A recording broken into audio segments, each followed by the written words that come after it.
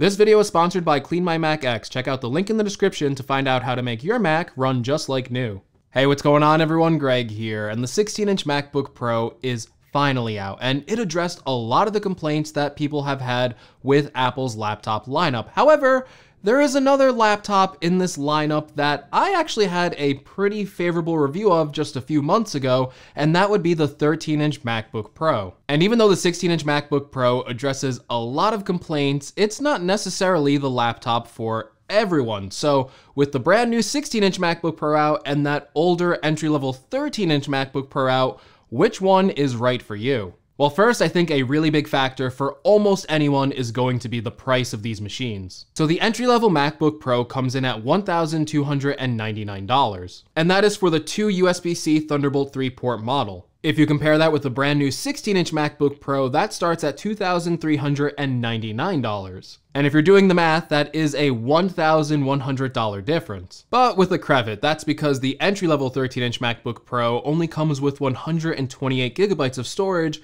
compared to the base model of the 16-inch, which comes with 512 gigabytes of storage, as well as 16 gigabytes of RAM as opposed to the 13 inches 8 gigabytes of RAM. Now, some people could get by on just 8 gigabytes of RAM. However, that storage at 128 is awfully low. Now, you do have the options to spec that up to 256 gigabytes for $1,499. But if you want the same 512 gigabytes of storage as the higher end 16 inch model, that's gonna cost you $1,699. And that's overall going to be a $500 difference between the entry level 13 inch with two ports and then the higher end 16 inch model. Of course, with that 16 inch, you could spec it out even higher than the base model. And of course, they even have that higher end base model, which starts at $2,799. Not to mention that although I'm specifically talking about the entry level 13 inch MacBook Pro in this video, there are other 13 inch MacBook Pros that have four ports, and those start at $1,799 for a 256 gigabyte version. All right, next let's talk about the design of both of these laptops. And at first glance, both of these laptops share a very similar design language, but there are a few key differences here. First of all, the 16-inch MacBook Pro is obviously much bigger in size. This can be a positive point or a negative point depending on how you look at it. One of those positives is that it does come with a bigger 16-inch display as opposed to the entry-level MacBook Pro, which does come with a smaller 13.3-inch display. The 16-inch also has reduced bezels, making for an overall more efficient design, but the display quality on both of them is pretty much identical. Albeit on the 16-inch, you do get the additional option for variable refresh rates below 60 Hz.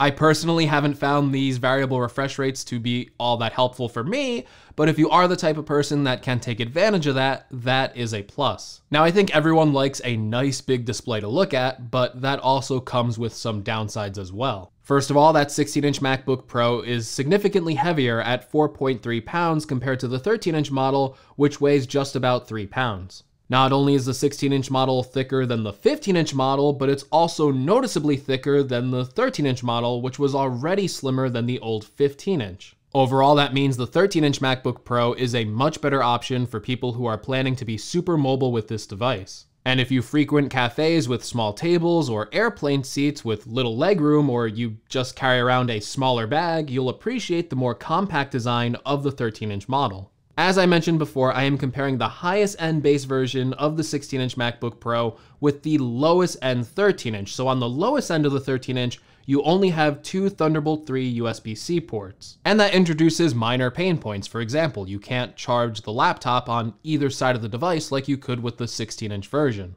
Now you could rectify this by spending $1,799 for the 4-port model of the 13 inch, which isn't featured in this video. But if you are in the market for a 13 inch model and you can live with just two Thunderbolt 3 USB-C ports, that is the model I would recommend. I find it to be a better value than what you would spend for the higher end four port configuration. Now at this point in the video, you're probably still deciding which MacBook Pro you should buy, but no matter what MacBook Pro you buy, you need to check out our sponsor for this video, Clean My Mac X. Clean My Mac X is an all-in-one package to clean up your Mac and make it run just like new. In one click, Clean My Mac X instantly scans your Mac and checks for unused system junk, which was a huge lifesaver for me recently when I was trying to free up space on my Mac. as macOS can store hundreds of gigabytes worth of purgeable disk space that can't be manually removed on its own. Furthermore, Clean My Mac X can also find hidden apps and folders and features an advanced anti-malware protection that protects your Mac in real time and can remove malware, adware, viruses, keyloggers, data, and password mining apps, and undetected apps and extensions. So you can make sure your Mac is private and secure. Clean My Mac X is also notarized directly by Apple, so you know you can trust it. Best of all, you can try a free demo of Clean My Mac X so you can safely try all the tools before you decide to keep it on your Mac. And once you do, you can purchase an annual subscription for $40, which is less than $4 a month to keep your Mac protected and make sure it always runs like new. So be sure to check out the link in the description to download Clean My Mac X. And thank you so much to Clean My Mac X for sponsoring this video. Now another major design difference between the 16-inch and the 13-inch is actually the keyboards. With the 16-inch MacBook Pro introducing a Magic keyboard which replaces the old butterfly keyboard found on the 13-inch models. Now, I'll preface this by saying that butterfly keyboards have had a really bad reputation of breaking with stuck or repeating keys for a lot of customers, but I personally have never experienced this issue with any of my butterfly keyboards, even dating back to the original 2016 MacBook Pro, where it introduced the butterfly keyboard design.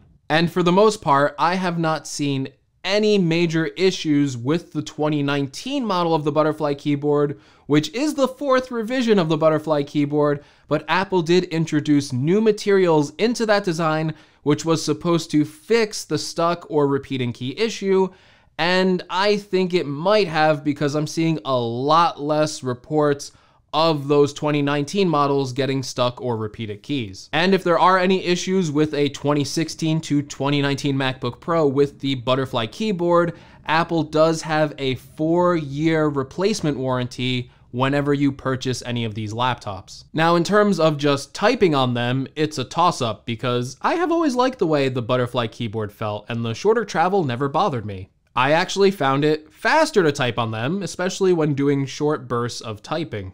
But the Magic Keyboard on the 16-inch combines a lot of the tactile punchiness of the butterfly keyboard into an older design that uses traditional scissor switch mechanisms and gives you an enhanced 1mm of key travel. So it's really the best of both worlds. The Magic Keyboard on the 16-inch also incorporates a physical escape key, which is going to be a welcome addition for a lot of users. Now, in terms of actually typing on either the 16 inch or the 13 inch, for me personally, it's a toss up, so I would say it's a tie.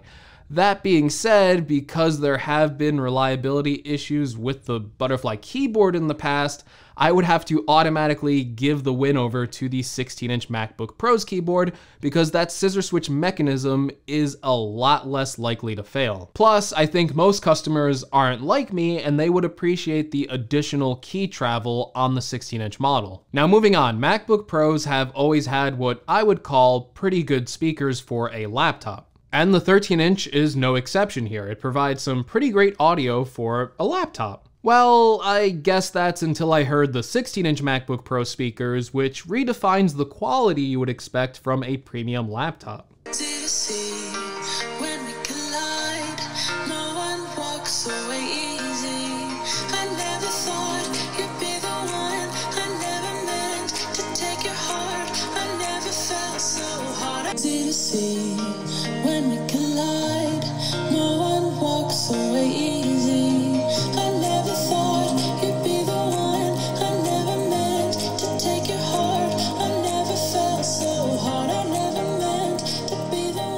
That's not to say the 13 inch speakers are horrible because they're still better than a lot of other laptop speakers, but when you listen to the 16 inch speakers with their better bass and overall richer sound, it's noticeable that the 13 inch just isn't up to par. Speaking of which, the microphone on the 16 inch is now also much better than the 13 inch model. And while I think it sounds great, especially for inbuilt laptop microphones, and you can absolutely podcast with them and sound pretty decent, they still aren't better than a real dedicated microphone, so it might not be a huge deal to most people. This is a test recording using the 16 inch MacBook Pro's internal microphone. This is a test recording on the 13 inch MacBook Pro's internal microphone. Okay, how about another important metric for a lot of consumers? Battery life. Now, you might think that the 16 inch MacBook Pro, with its huge new battery inside of it, would make a huge difference over the entry level 13 inch model. Now, battery life is going to vary a lot depending on what you're using your laptop for.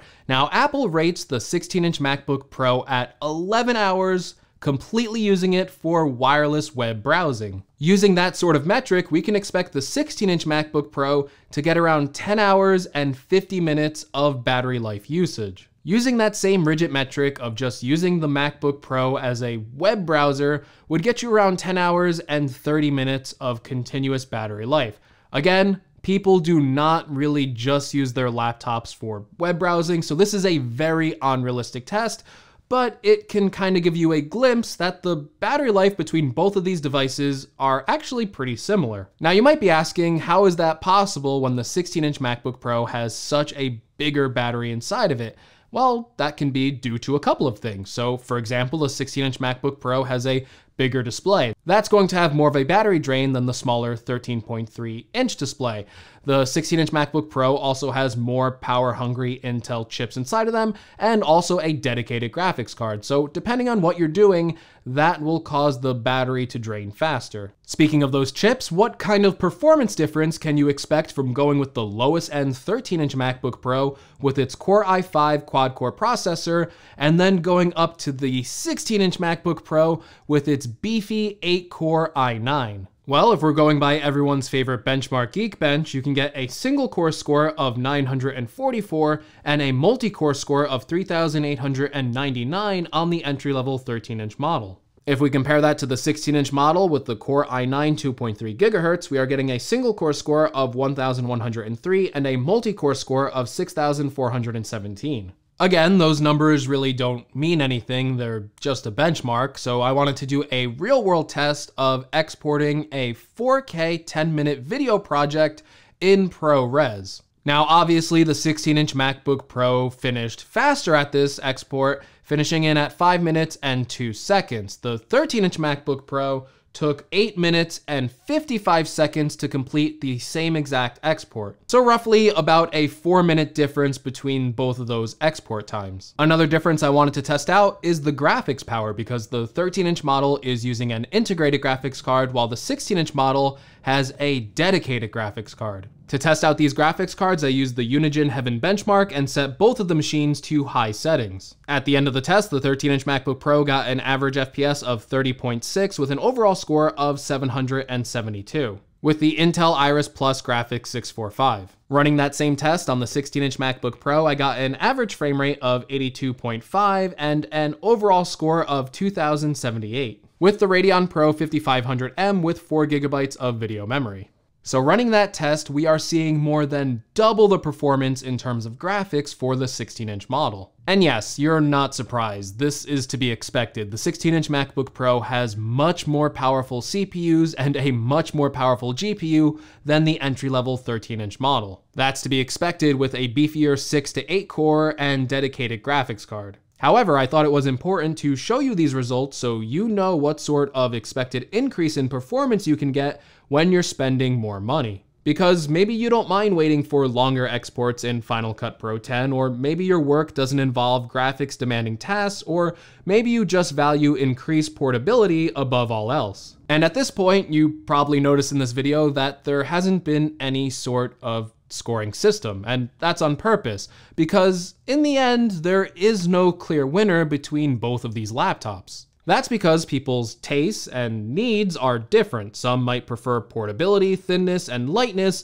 and an overall more inexpensive laptop, while others want the biggest display, best performance, and don't mind spending at least $2,400 to have it all. And as a viewer, you need to decide which of these features between the 16 inch and 13 inch are ultimately more important to you. And as a viewer, you should also be aware that refreshes of the 13-inch MacBook Pro are expected by next year, with at least an update changing the butterfly keyboard to the new Magic Keyboard found in the 16-inch model. So if you came away watching this video and you absolutely want a smaller size MacBook Pro but hate the keys on the 13 inch model, or you are worried about their reliability, I would recommend waiting until 2020 to purchase a new laptop if you can. But ultimately, in the end, there is no perfect laptop, and both of these machines have their pros and cons. But with that being said, hopefully this video helped you out in deciding which MacBook Pro you should buy. If it did, make sure you leave a like. If you want to see more from this channel, make sure you're subscribed. Also be sure to check out our sponsor for this video, Clean My Mac X. And as always, thank you so much for watching, and I will see you all in the next video. Take care, everyone.